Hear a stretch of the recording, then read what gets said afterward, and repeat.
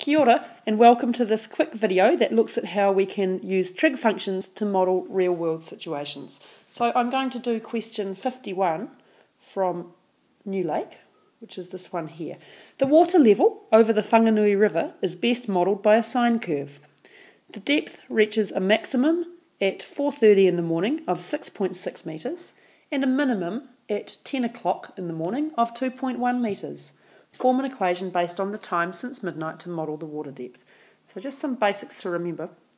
There's my basic sine curve, right? And remember that that's very badly drawn, but that's the rough idea. The zero point is at zero, zero. We're going to take that sine curve and we're going to transform it. And we're going to have four bits of that transformation. So we looked at this in class on Thursday, but now we're putting it into real life. So the, the four coefficients in here, the A is the vertical stretch factor, right? The C is looking at the horizontal shift. The D is looking at the vertical shift, okay, as opposed to A, which is the vertical stretch and the B is the horizontal stretch. So two stretches and two shifts. And we're going to go really slowly and just put the information on and gradually we'll, we'll work out those coefficients. But before we do that, we're working with a time question, so I'm going to call the variable t. We need to be careful, as we have been at level 1 and 2, to turn our times into decimals. So 430 we're going to think of as 4.5 and 10 o'clock is easy, that's just going to be 10. Okay, so let's um, go on to a new slide and we'll just start doing a very rough sketch. Okay, so here's my sketch. I've got T along here. I'm going to mark it out in, let's think, so I want to have 24 hours for one full cycle. Here's 0, here's 24. So let's go in six hour blocks, so that's about halfway at 12. There's 6 and there's 18.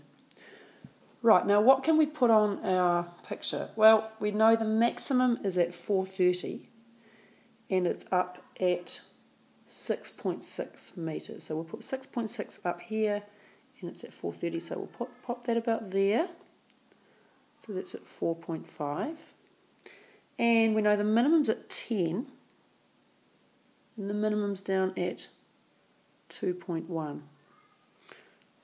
Right, so the first thing I think about when I'm doing these is where's the midline going to be? So that's 2.1. So where's my dotty line in the middle there? Because that's going to be important.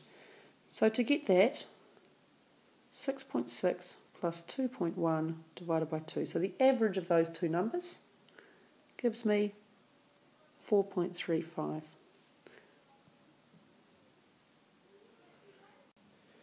Okay, so the next thing I want to do is I want to be able to sketch in my sine curve. But what would be nice to get it going well is to get the point in here where it's going to go through my midline. So somewhere about here. So how will I find that point? Well, so I'm going to have this. This point is going to be halfway between the maximum water level and the minimum water level. So again, I'm calculating an average of two numbers. So 4.5 plus 10 divided by 2 is equal to 7.25. So 7.25, which is going to be quarter past 7 in the morning, is where this, this is showing up here. So now I can sketch in the rest, and I'm starting to get a feel for what's going on. Notice that I haven't really started to write the equation yet, but we've actually got quite a few of the bits done. I can't yet see where is this point here. Now this point's important. I think of this as the zero point for my sine curve, for my model. So let's work out where that is. Right, well, we know that this distance here must be the same as the distance back to the zero point. So what I'm working out first is 7.25 minus 4.5 and that equals 2.75. Okay, so I'm going to go over that again here. The zero point here, sorry, the, the point where the sine curve crosses our midline is at time 725. Between 4.30 and 7.25, I've gone from my max to my midway point. So if I go back that distance, I'm going to find this point here. So now I say, well, 4.5 minus 2.75 is equal to 1.75.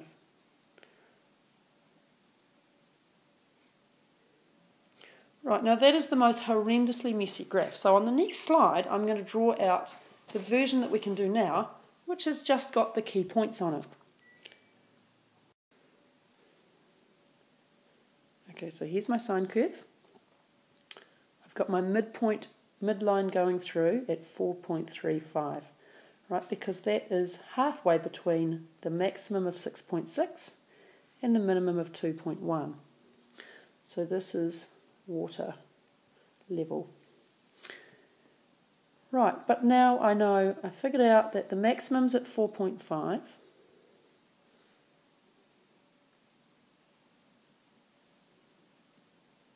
minimum is at 10 o'clock. And so the zero point here is at 7, I keep calling it the zero point. This is at 7.25. So this gap in here is 2.75. So if I extend back to here, I can get basically the start of a full sine cycle. So if we take 2.75 off again, I'm going to get a key number, which is 1.75. So that's a key number because if you think about how I've transformed my sine curve, you can see that I want to know where does one full cycle start from. So think about the basic sine curve. I am looking for that point there. Where is that happening in my new modelling situation? And it's happening there. So we're ready now to write most of the function. Okay, so the function is going to have this form. My stretch upwards is 2.25. Right, so this is the amplitude. Right, so I've done a vertical stretch so that instead of going up to 1 above the midline, I'm going up 2.25. So we'll have y is equal to 2.25 sine of something. We'll come back to that. The vertical shift is really easy to get. We've gone up 4.35. So it's going to be plus 4.35. I'm going to write this out beautifully and cleanly on the next slide. Okay, but we've got the two vertical factors done now. Now, we've got the horizontal shift done as well because I've found the starting point for the cycle. So I have moved along rightwards 1.75. If you start with the sine function up here in the top right corner, we start at 0, 0. The start of a sine cycle here is at x or t equals 1.75, so it's going to be x minus 1.75 in there. What a mess.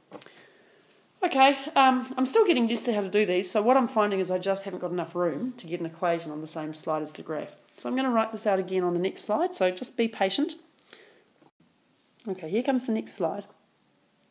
So I'm going to do a small version of what we've got. Right, so that point there we've got at 1.75. So the equation so far that we've got is this. y is equal to 2.25 sine something x minus 1.75 plus 4.35. Okay, so that's my vertical stretch. The 4.35 is my vertical shift. The minus 1.75 is the horizontal shift. The last thing I have to do is to work out the scale factor, so the horizontal stretch. Now, usually one period of a sine curve is 2 pi, but one period here is going to be from here to here and then from here to here. So it's going to be four lots of the 2.75 that we found. So that number there is 4.5. So 4 times 2.75 is 11. Okay, so one full cycle is 11 hours. The other way you can get that is by thinking about twice the gap between the min and the max. Okay, as you do more of these problems, you'll get your own ways of doing it. So four lots of that is probably the easiest way to see it when you're starting out. So we are looking for a scale factor that relates 11 to 2 pi. And we've got a much more stretched out graph here because instead of one cycle being 2 pi long, which is 6 point, about 6.28 something something, ours is 11. So our cycle needs to be scaled like this, 2 pi over 11.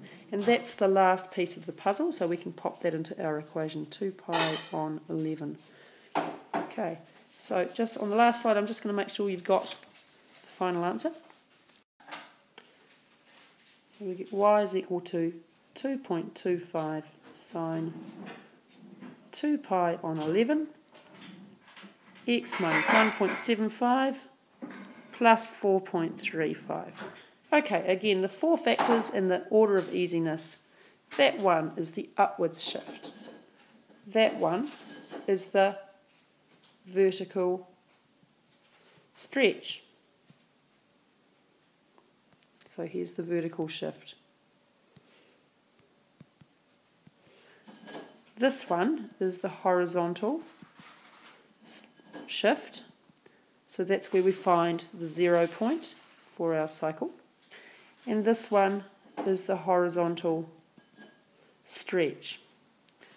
Okay, I think probably the one that you're going to find the least intuitive till you've done lots of these is the horizontal stretch factor. So if you are finding that really hard, remember you can go over in um, in the Nulake the earlier work on transformations where it's just um, not in context. So looking again at pages 6 and 7 if you need to do that. I'm going to come back later on today and model some more for you.